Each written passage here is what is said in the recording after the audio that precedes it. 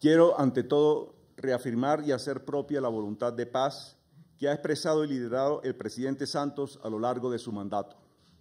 Alcanzar la paz es indispensable para garantizar un mejor futuro para los colombianos.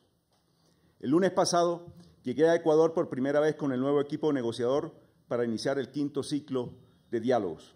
Esa misma noche nos reunimos con Pablo Beltrán, Aureliano y Bernardo del ELN. Me acompañaron Alberto Ferguson y Alejandro Reyes de la delegación de gobierno. En esa reunión se habló en términos esperanzadores sobre la posibilidad de llegar a un acuerdo final antes del fin del mandato del presidente Santos. La reunión terminó en un ambiente positivo y quedamos de instalar oficialmente la mesa el miércoles 10 de enero. Deploramos que a pesar del clamor de la comunidad nacional e internacional y nuestra disposición expresa por mantener y prorrogar el cese al fuego, el ELN haya optado por reanudar sus acciones ofensivas en la madrugada de ayer contra la comunidad, las Fuerzas Armadas y la infraestructura del país.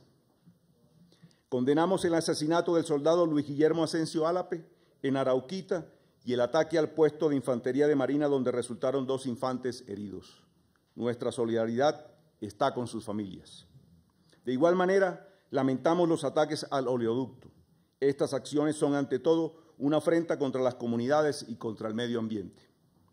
Ante el llamado de la Iglesia, las organizaciones sociales, países amigos y el Consejo de Seguridad de Naciones Unidas, que el día de ayer expresó, abro comillas, su esperanza de que el gobierno de Colombia y el ELN reanuden los esfuerzos para acordar una renovación y fortalecimiento del cese al fuego para evitar el retorno al conflicto y proteger los logros humanitarios alcanzados en los últimos tres meses, cierro comillas, el gobierno reitera su voluntad de reactivar el cese al fuego y negociar uno nuevo. Llamamos la atención que el mandato de las Naciones Unidas para supervisar el cese al fuego venció el pasado 9 de enero y ya varios de los componentes de esa misión están regresando a sus países. Naciones Unidas nos ha expresado que para que ellos puedan mantener el esquema de verificación requieren que se les informe prontamente sobre la decisión de reanudar el cese al fuego. Este es uno de los muchos temas que el presidente Juan Manuel Santos abordará con Antonio Guterres, secretario general de la ONU, durante la visita este, de este último a Colombia que tendrá lugar pasado mañana. El presidente me ha pedido que asista a esta reunión para continuar evaluando el proceso. Permaneceré en Bogotá en espera de las instrucciones que reciba del señor presidente al término de la reunión con el secretario general de la ONU.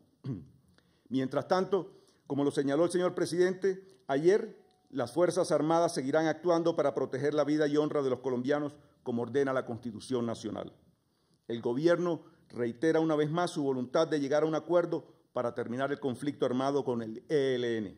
Esta disposición del Gobierno Nacional requiere hechos inequívocos de paz que permitan alivios humanitarios en beneficio del bienestar y la tranquilidad de las comunidades y la construcción de confianza para adelantar el proceso. Muchas gracias.